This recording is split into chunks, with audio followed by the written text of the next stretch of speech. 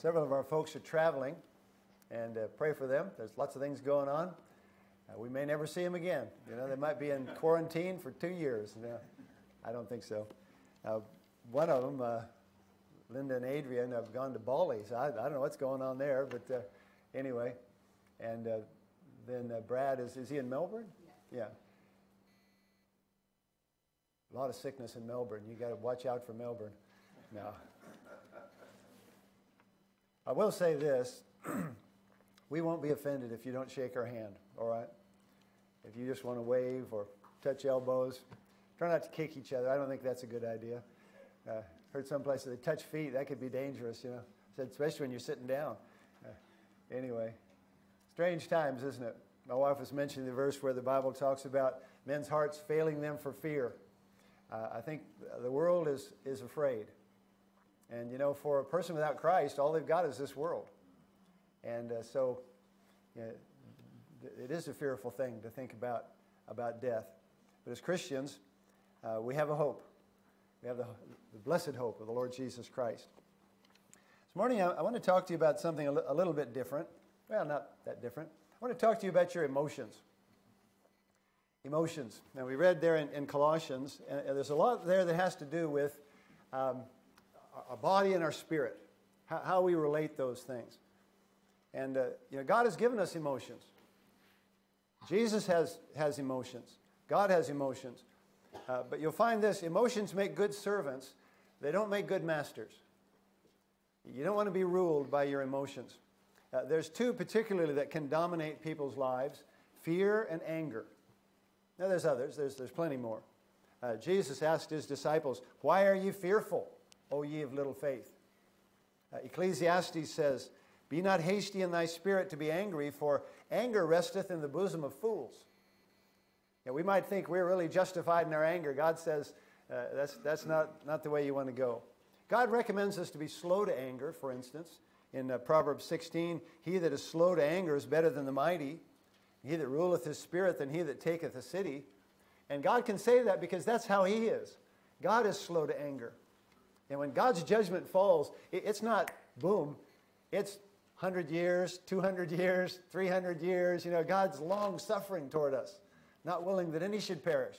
You know, when you read in the Bible about God's judgment falling, man, of course it falls, it, it, it really hits, but He's been wooing, He's been calling, He's been, uh, you know, loving and long suffering. God is slow to anger, it says in Psalm 145. He's gracious and full of compassion, slow to anger, and of great mercy. Uh, so God tells us uh, not to be afraid. God tells us uh, not to be angry. Uh, one of my favorite verses uh, Jesus came upon his disciples as they were fishing, and he comes on them walking on the water. So you can imagine that would be a bit scary. And uh, they're, I don't know how you'd say it, they're, they were packing it. I mean, they, they they thought they'd seen a ghost. And he says to them, Be of good cheer, it is I, be not afraid. I love those words. Be of good cheer, it is I, be not afraid. Listen, you can, you can remember those words every day. uh, the Lord will help you as, as you face life. You know, we, uh, we hear what God says about this, and yet oftentimes we are mastered by our emotions. Yeah, we let our emotions decide what we're going to do, and even sometimes what we believe. Now, some people are known as fearful people. Some are known as angry people. Listen, that should not be uh, for us as Christians. Uh, it should not be a, an emotion that we're, we're known by. Now, emotions are essential. Uh, God gives us emotions. Can you imagine a world uh, without joy? You know, we, we like some emotions. Uh, we could say, well, I'd like a world without anxiety, but, you know, there's all kinds of different emotions that, that we have. Someone has defined emotions as a spontaneous response to your values and beliefs that have either been affirmed or challenged. Now, you won't find that in your dictionary, but uh, a spontaneous response to your values and beliefs that have either been affirmed or challenged. Now, that's probably a pretty good definition. Let, let me give you an example in Matthew chapter 21. Three different responses to the exact same situation. And it's because of their, their values and beliefs as they face the situation. There's actually two situations, but we only see their the three responses to the one. Uh, it's when Jesus comes to the temple and casts people out. I, I find it interesting that the Lord doesn't tell us his emotions there. Uh, you know, there's other times when God tells us, you know, Jesus was grieved or he was angry. It doesn't really say here. You assume he was angry, but uh, it, it, doesn't say, at least, uh, at least not in Matthew. I don't think I've looked him up every gospel, but um, in Matthew 21, verse 12, he, he casts them out. He says, My house shall be called the house of prayer. You've made it a den of thieves. Then in verse 14, and the blind and the lame came to him in the temple, and he healed them. Okay, here's the situation. And when the chief priests and scribes saw the wonderful things that he did, and the children crying in the temple and saying, Hosanna to the Son of David, they were sore displeased. Here you have three different responses to the same thing. Now, here's people that are lame and blind. Now, Jesus, uh, it, the Bible doesn't say this, but he's, he's showing them sympathy. He's showing compassion. They come to him, he heals them. Sounds good to me. If I was lame and blind, that's the response I'd want. The, the children see it. Wow, they say, what a wonderful thing. And they're shouting, Hosanna, you know the scribes and Pharisees see it, and uh, they say to him in verse 16, Hearest thou what these say? Don't you know they, they shouldn't be so happy about this? They're, they're giving you praise. They, they had a completely different response. Jesus had one response, the children had a response, the scribes and Pharisees had a response. Same situation. Now, you can have that happen. But one that came to my mind is, is a footy game. Somebody wins, somebody loses. Same situation. Well, I guess maybe it's not exactly. Uh, we have different responses based on our values. And the problem is, oftentimes our values are wrong.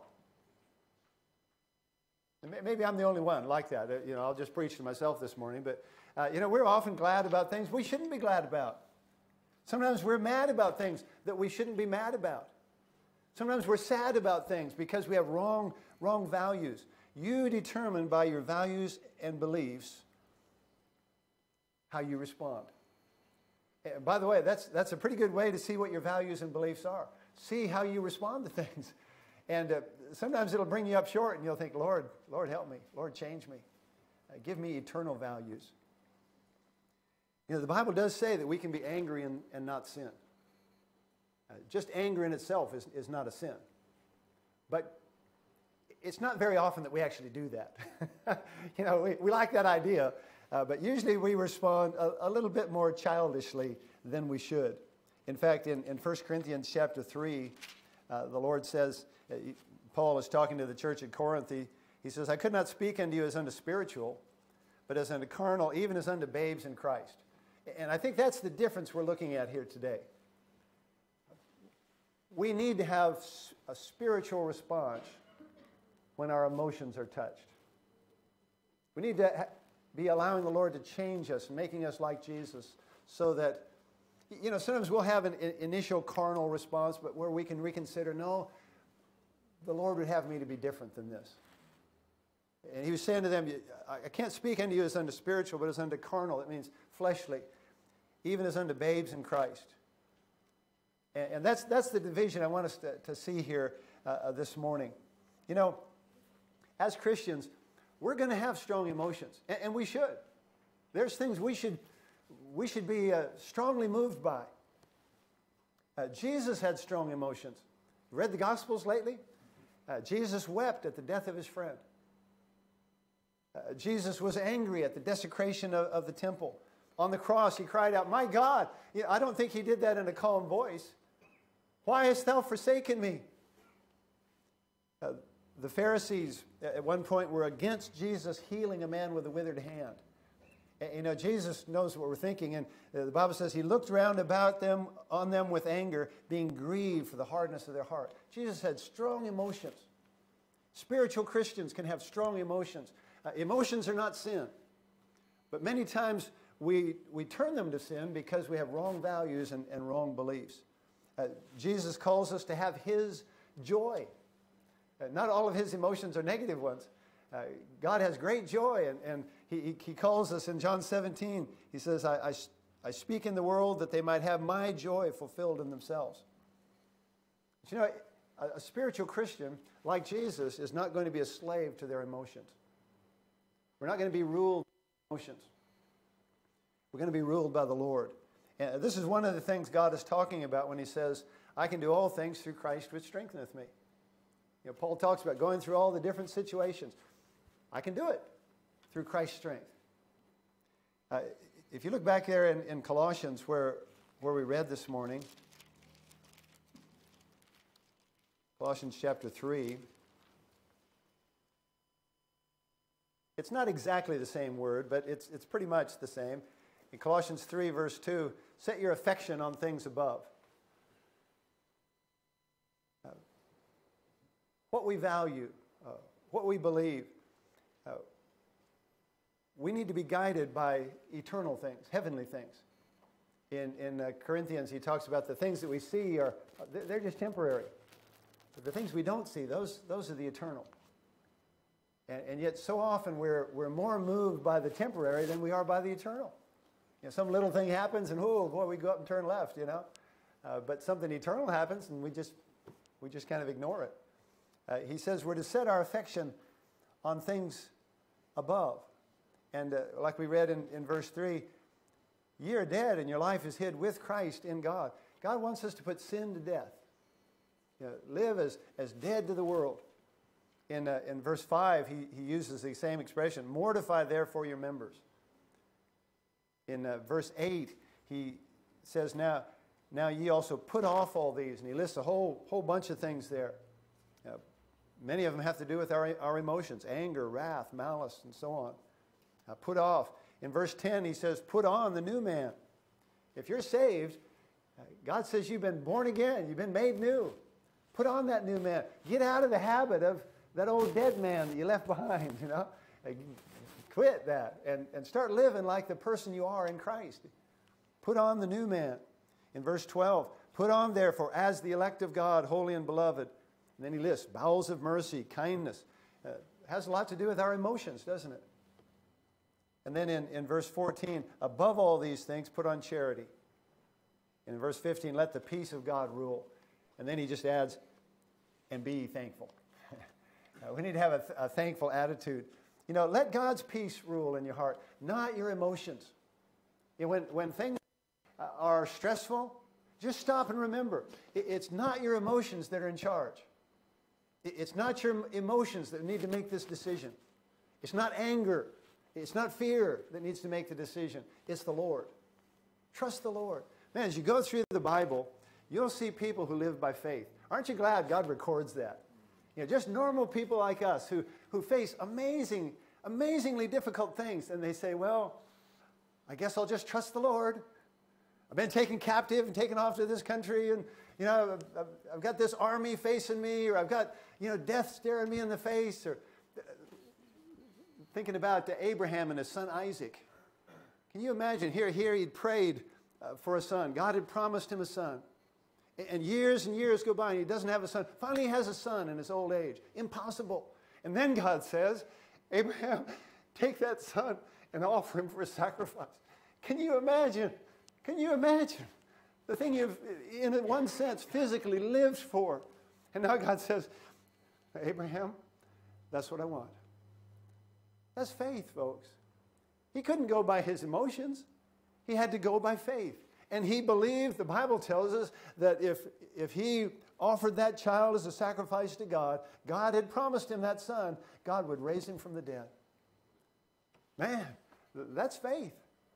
And you know, you apply the things that we're facing, and that's they're nothing compared to that. You know, will I get the job? Will, I, will my health fail? Or you know, put that into context there. We need to be people who are not ruled by our emotions, but who are ruled by the peace of God. Listen, we need to be willing for God to be God, for Jesus to be Lord. And when there's things that uh, God has said, this is the way it needs to be, we need to say, Well, Lord, I don't understand it, but I believe it. I'll just trust you. Now, this is not original with, with me this, this morning, but I want to give you some things that I think will help you uh, with your emotions. You're just right at the, at the cold face of life. Uh, when, uh, when emotions hit that you're, you're struggling with, Um, someone has taken the, the letters of the word action, A C T I O N, six things that, that you can do that will help you uh, when emotions are trying to rule you rather than the peace of God.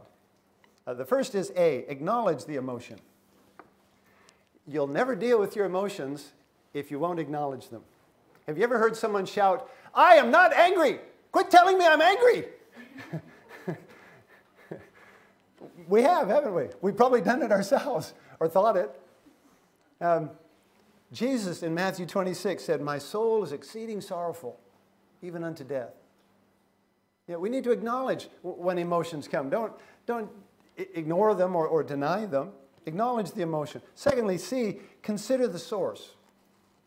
Now, what we're talking about here is when we have a, an emotion that's wrong, when we're using it wrongly, looking at, at ourself and the, the source that God holds me responsible for. Uh, in Psalms, he says, Search me, O God, know my heart. Try me and know my thoughts. See if there be any wicked way in, in me. Uh, emotions always come from within us. Remember our definition emotions are spontaneous responses to your values and beliefs that have either been affirmed or challenged. The common way to deal with an emotion is to blame someone or something else. It starts with, why did you hit your brother? He hit me first. Uh, I'll, say this to parents why is not a good question. Uh, what is, is the question? What did you do? I hit my brother. Is that right? No. uh, the why doesn't make any difference. Uh, we need to consider the source, and we need to get past excusing our emotions. You know, a lot of times we'll, we'll blame somebody. He treated me bad. No one has the right to treat me like that. And we blame our wrong emotional response on what someone has done. Uh, we even go so far as to say, Well, I'm just really stressed and tired right now. I wouldn't normally say that. Uh, listen, stress and tiredness is a little bit like drugs and alcohol. It brings out what's really in you. and we don't always like to see that. Uh, consider the source. Now, physical things will affect our emotions. I mean, it can even be as basic. We, we know of a pastor's wife who, who her, her, her personality changed. And they found out she had a brain tumor. She'd been very pleasant, and then, then, all of a sudden she wasn't. And they found out there was a physical reason. There, there can be, uh, that can happen, but that's not the norm. Uh, normally, it's, it's just in us. It's a value or belief being challenged or affirmed. Many times we feel like our rights are, are being denied.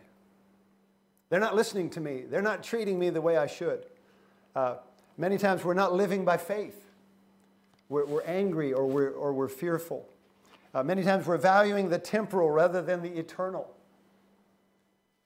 We need to see, and, and it's at this point you might need some help because God gives us a clue here. He says, The heart is deceitful above all things and desperately wicked.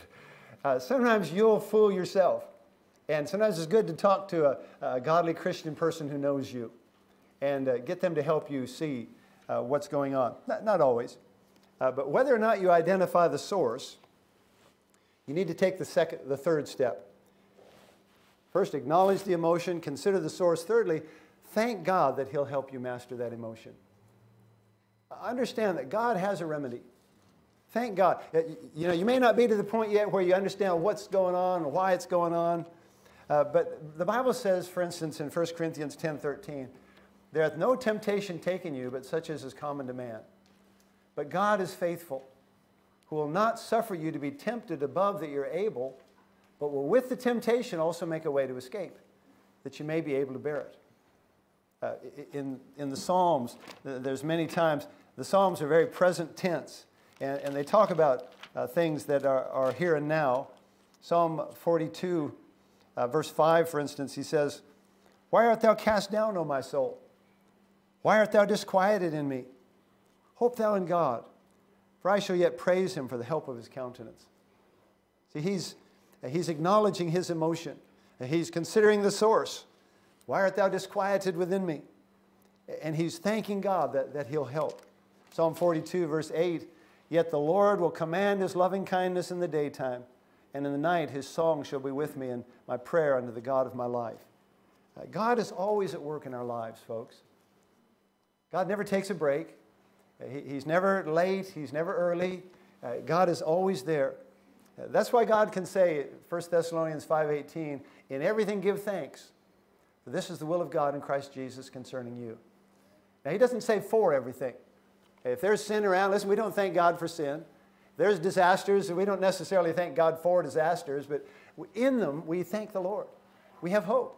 In everything, give thanks.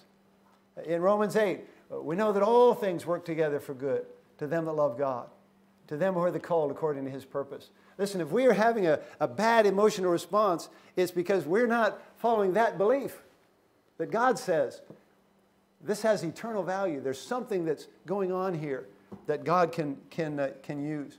And, and listen, the, these are not things I'm just teaching to you. Uh, a lot of what I've been preaching lately has been mainly to me.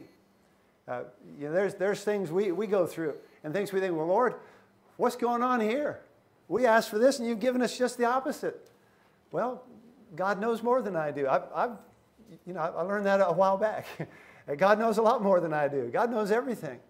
And God knows what's right. And God is good. God's always good. Paul and Silas, you know, they're out doing the, the work of God.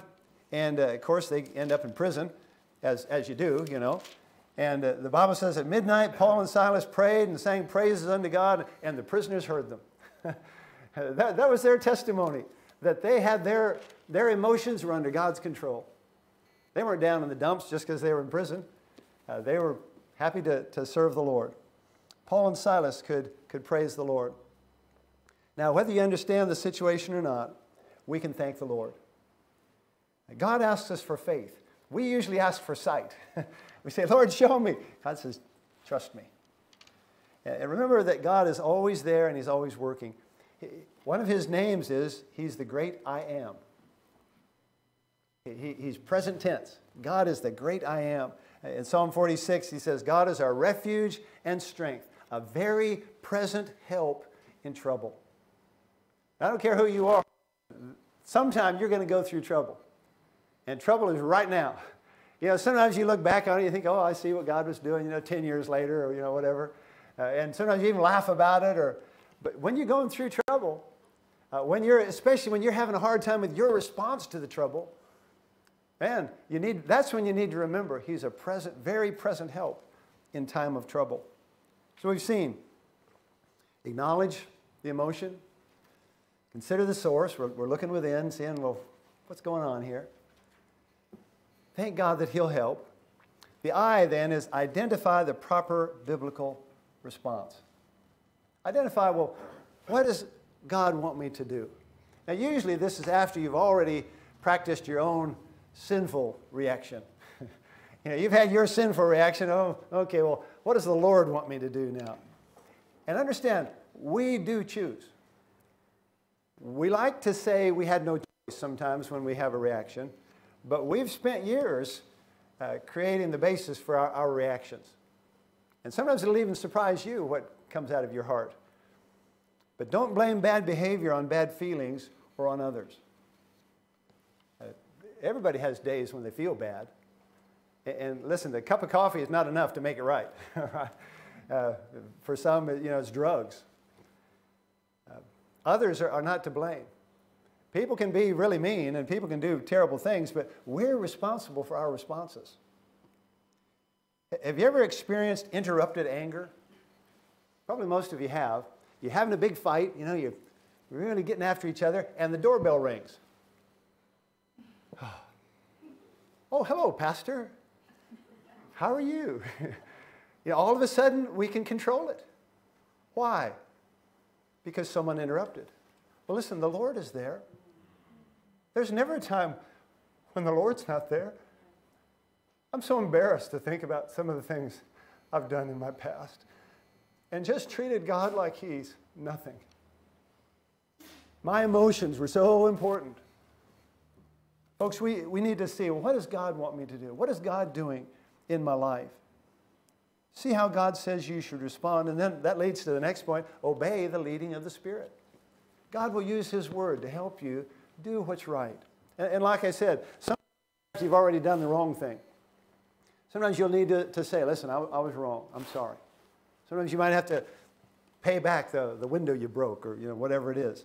Uh, obey the leading of the Spirit. See how God says you should respond and obey. Uh, in uh, one of the series we did, we learned Ephesians 4 31 and 32. Let all bitterness and wrath and anger and clamor and evil speaking be put away from you with all malice. And be kind one to another, tenderhearted, forgiving one another, even as God for Christ's sake you. So we can see from that verse uh, listen, if there's bitterness and wrath and anger and clamor, clamor's yelling. Evil speaking, malice, if that's involved, that's not what God's Holy Spirit and God's Word tells us to do. And so we need to quit doing that. Be kind, tenderhearted, forgiving. Be like Jesus. Uh, identify the proper biblical response and then obey the Lord. When it comes to fear, God says, God hath not given us the spirit of fear. Listen, if you're living in fear, that's not right. I mean, we're supposed to fear God, and we're supposed to have a normal fear of, you know, don't jump off a cliff and, and think it'll be okay uh, kind of thing. Use common sense. And, and that comes under the category, He's not giving us the spirit of fear, but of power and of love and a sound mind. All right? Uh, have, have, a sound mind. We, we, don't live in la la land as Christians. Uh, we live in the real world. Jesus, when he walked on the beach, left, left footprints in the sand, folks. Uh, you know, he, he, sweat and he was tired and you know, all those things. Uh, we live in a real world, and we need to obey the, the leading of the Spirit. If we're living with the spirit of fear, God says, that's not the right way. Trust me. If we're living in, in anger or bitterness, I see so much bitterness around anymore. And, and people sometimes think it's, it's okay. They've wronged me, so here's the right response. I'll just cut them off and be bitter.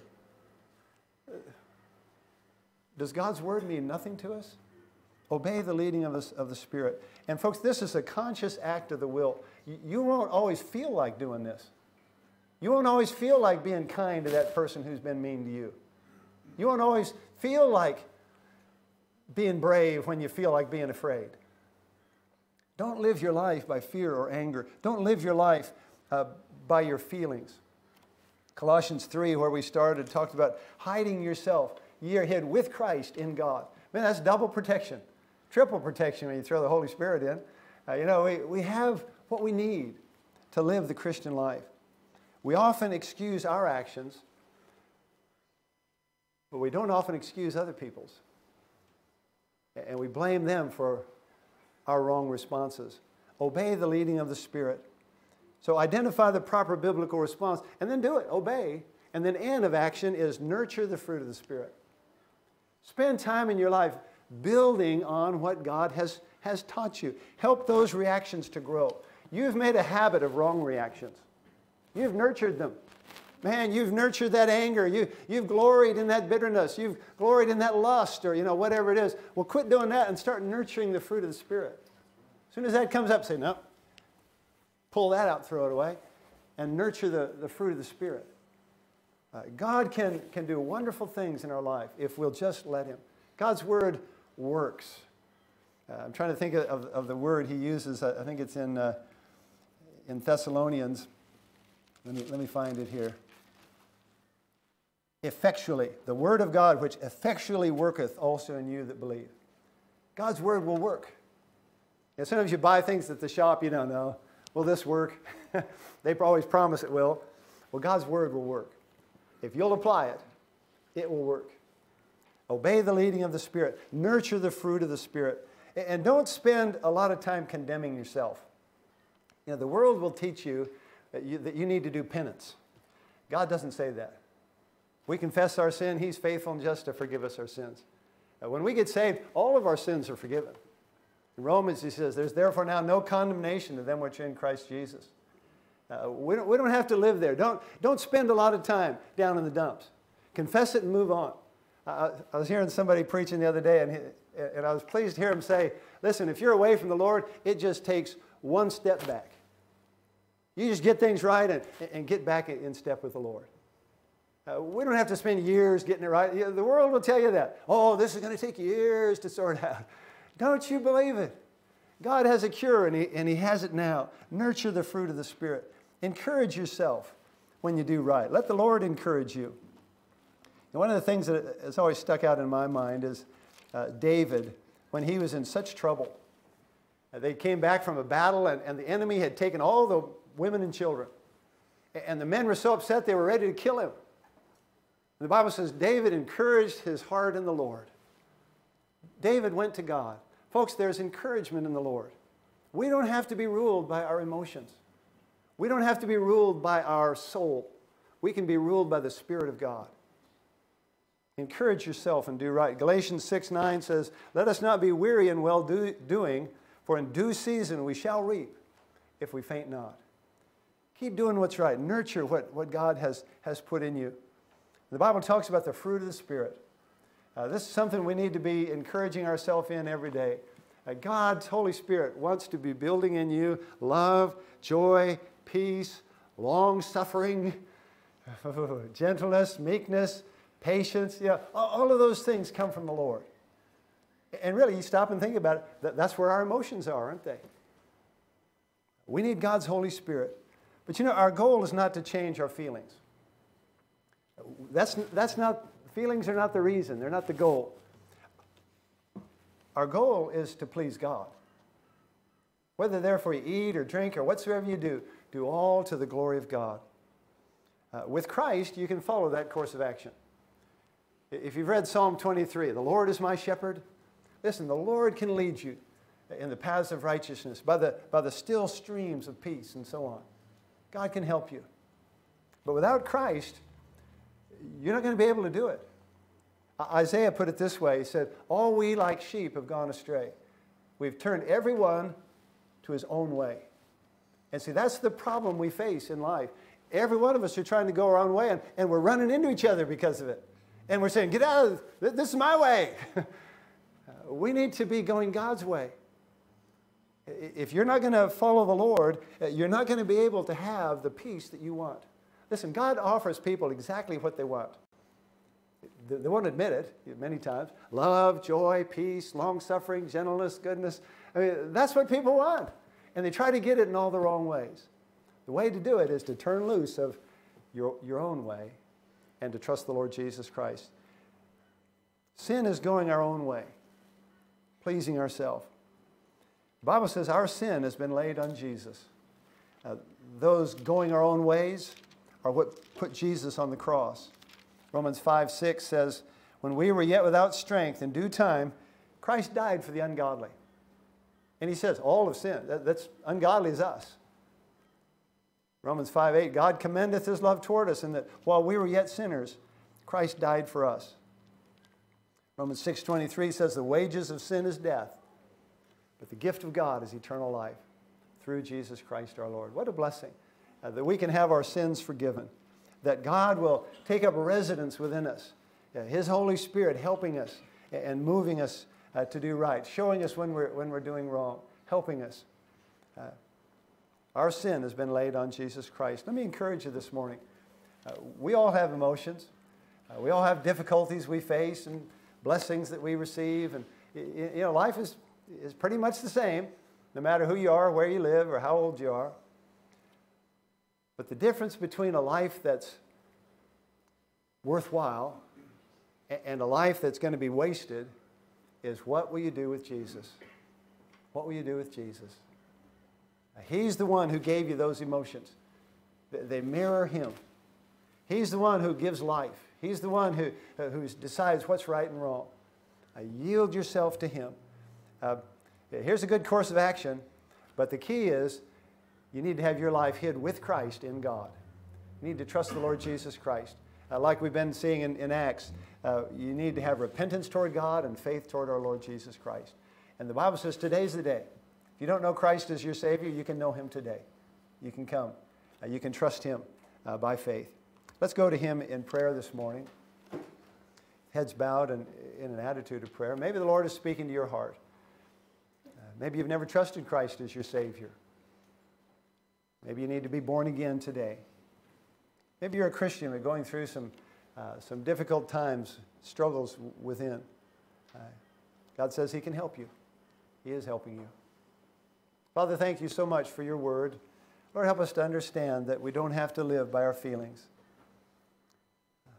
or that we can live by faith. Father, I pray if there are those here this morning that are not saved, that your Holy Spirit would draw them to yourself. Help them to see their sin to repent and to believe.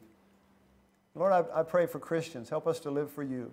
Lord, help us to love each other and to forgive and be kind. Lord, help us to have a heart for the lost and not to be insulted by their, uh, their condemnation of, of, our, of our Christ. Father, help us. Pray these things in Jesus' name. Amen.